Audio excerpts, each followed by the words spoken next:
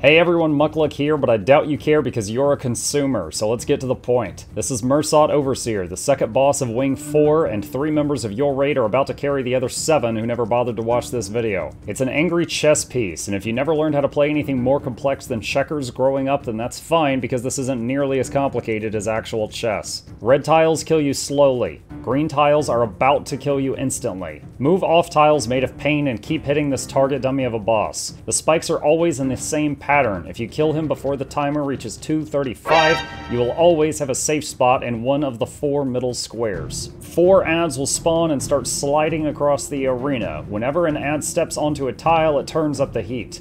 If it reaches the other end of the arena, it will supersize and come back to smack you up, still heating up tiles it steps on. Ads will explode for damage when they die. Let's talk about what the three people carrying your raid are going to do. Whoever picks up Claim is chased by the boss. Lead him to the safe tiles and your lemming teammates will follow. You will get a special action key called Claim. It lets you extinguish a hot tile with a cooldown. Use this on the four inner tiles anytime they're spicy. The Dispel person will get a special action key that dispels the overpowered Guardian shields from the ads. Anytime you see a yellow dome in the room, immediately remove it. If the firebrand in your group made the dome, kill him too, just to be safe. The Protect person is the one chased by the Supersize ads. Remember, they make tiles spicy, so try to hold them on the edge of your tile so that they're standing on the other square. If your team starts to suck or decides to stand in spikes, you can use the Protect special action key once per fight to make everyone invulnerable for a moment unless they run out of it. Pick up all three buffs to start the fight, kill the weak ads that come close to you, let the others supersize and return to you, then kill them too. Move out of bad, and as long as the three intelligent people did their jobs, the other seven get a free ride.